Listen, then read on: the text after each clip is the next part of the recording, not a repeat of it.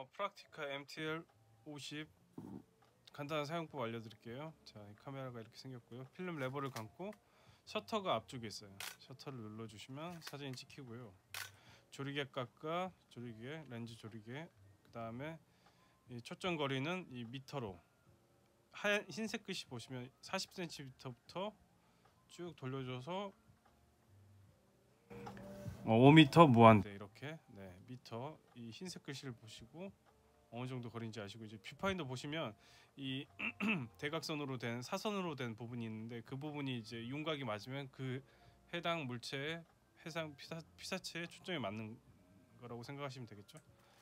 자 일단 이렇게 되고요. 이 필름 감도는 이 셔터 다이얼 빨간 쪽에 맞추시면 돼요. 빨간 삼각형이 가리키고 있는 셔터 다이얼을 네, 돌려주시면 되고 그 다음에 필름 감도는요 이 셔터 다이얼을 전체를 들어서 이렇게 움직여 주시면 돼요.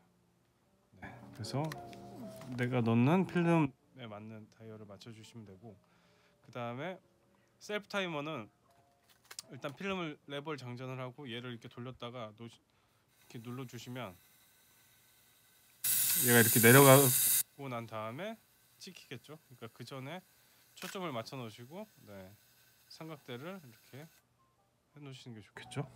네, 셀프 타이머 여기까지 내려가야 되는 거고. 자, 그다음에 여기 보시면 이게 있어요. 이게 왔다 갔다. 이게 이제 이 조리개를 얼마나 조였는지 확인을 해주는과 동시에 이 안에 이제 그 노출계, 노출계를 보시는 건데 이 노출계는 얘를 이렇게 당겼을 때 이 뷰파인더 상에 보면 이렇게 돼 있거든요. 여기 보시면 빨간색 빨간색 삼각형이 이렇게 위아래로 떠요. 그래서 이게 이것만 떠, 있, 떠 있으면 노출 over겠 under겠죠 under 너무 어둡다. 그다음에 이게 떠 있으면 너무 밝다. 그래서 두 개가 다 불이 들어와 있으면 적정 노출이다 그렇게 확인하시면 돼요.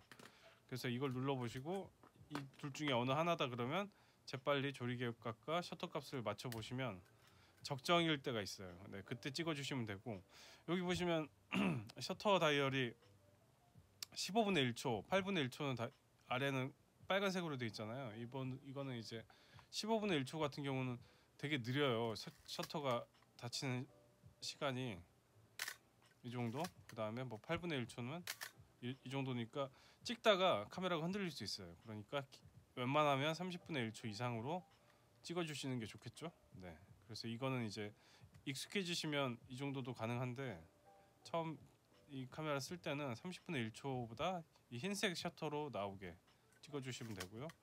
뷰파인더를 보시고 얘를 당겼을 때 노출계에 이 두 개의 불빛을 보시고 두 개가 다 켜져 어, 들어와 있을 때가 적정 노출 값이라고 생각하시면 돼요. 그 다음에 이제 필름 넣는 법 알려드릴게요. 필름은 rewind tab을 살짝 들어 올리면 이렇게 올라와요. 네. 닫혀 있죠? 이렇게 살짝 올라오죠? 네. 자, 이거 뚜껑을 열고 이런 식으로 돼 있죠. 이 필름의 튀어나온 부분이 아래로 해서 이걸 일단 넣어 주세요. 그다음에 얘를 닫아요. 그다음에 되감아 주시면 필름이 들어가죠. 그러면 이제 이 상태에서 필름을 쭉 빼서 먼저 이쪽에 이렇게 홈이 있거든요. 아래로 해서 집어 넣으세요. 음. 이런 식으로 네 밑으로 넣, 집어 넣은 다음에 그냥 이렇게 밑으로 이 끝 부분은 안으로 집어 넣어 주시면 이렇게 하면 잘 안 되죠. 이걸 이렇게 밀어 넣어 주시면 네, 이게 들어간 상태로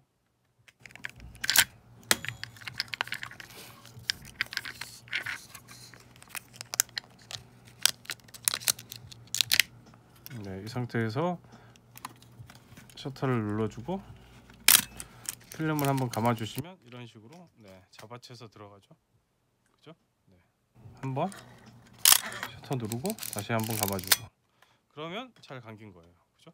그 다음에 이 rewind tab을 반대 방향으로 도- 돌려서 필름이 이렇게 평평하게 펴지게 네, 너무 세게 잡아 당기면 이, 끊어질 수가 있어요. 이 상태로 해서 뚜껑을 닫아 주시면 돼요. 뚜껑을 이렇게 딱 닫아 주시면 그 다음에 이제 셔터를 누르고 자 이제 이 카운터를 보시면 일이 아직 안 됐잖아요. 예, 그래서 감아 주시고 한번 찍고 일 바로 전부터 바로 촬영을 시작하시면 되겠어요. 네, 그 제가 지금 이걸 넣고 두 번을 감았기 때문에 새 필름이 이제 필름에서 빠져나왔겠죠. 그럼 이제 찍어주시고, 네, 이제서야 일로 왔죠. 네, 그러니까 이 카메라는 36층짜리 필름을 넣으면 36 플러스 한 한 장에서 두 장 정도 더 찍힌다고 보시면 돼요. 네. 물론 이제 계속 와인더를 감아가지고 일, 일까지 오게 한 다음에 찍으셔도 사- 뭐 상관없겠죠. 네, 근데 이제 왜 그러냐면 원래 이런 필름들 앞부분에는 24장이고 36장이건 앞, 앞부분에 일정 정도 이 스톤 카메라 안에 이렇게 감는 양이 포함이 돼 있어요. 네, 그러니까 그런 점 때문에 기존에 있는 이 노출 양 24장 이런 것보다 더 많이 찍을 수 있다는 거. 네. 그렇게 해서 어, 또 주의해야 할 점은 내가 레버를 감았을 때 이 rewind tab도 같이 돌아가야지 필름이 계속 이송이 되고 있는 거겠죠. 네. 별로 어렵진 않죠. 그래서 어, 필름을 다 찍으시고 나서는 어떻게 해야 되냐? 필름을 다시 감아야 되잖아요. 그때는 이제 rewind 버튼을 눌러 주시고 얘를 이렇게 감아 주시면 돼요. 이걸 열어서 이렇게 이런 식으로 감아 주시면 이게 뭔가 풀리는 듯한 느낌이 나서 열어주시면 이렇게 필름이 들어가 있죠. 네. 그래서 이거를 이제 충분히 연습을 하시고 초보분들은 특히 필름 넣었을 때 지금 필름이 없으니까 리바인 이걸 감았을 때 당연히 얘만 돌아가겠죠. 근데 확실 필름을 넣었을 때는 이것과 이게 동시에 이렇게 휙휙 회전을 해야 된다는 거 생각해 주시면 되고요. 아, 이 카메라는 이제 완전 기계식 카메라에서 셔터와 조리개가 다 배터리가 없어서 찍혀요. 근데 이제 아까 이 뷰파인더 얘기할 때 이 삼각형들이 배터리가 있어야지 보이거든요. 노출계 노출계용 배터리는 이 하단에 LR44 하나가 들어가요. 아, 4LR44. 네, 4LR44. 네, 6볼트짜리. 그래서 이, 이게 있어야지 노출계가 작동이 된다. 생각을 하시면 돼요. 네. 자, 그러면 뭐 기본적인 건 다 아셨으니까 어, 촬영을 할 때 얘를 눌러서 화살표를 보시고 셔터 다이얼과 조리개를 잘 배합을 해서 예쁜 사진 찍기 바라십니다. 바랍니다.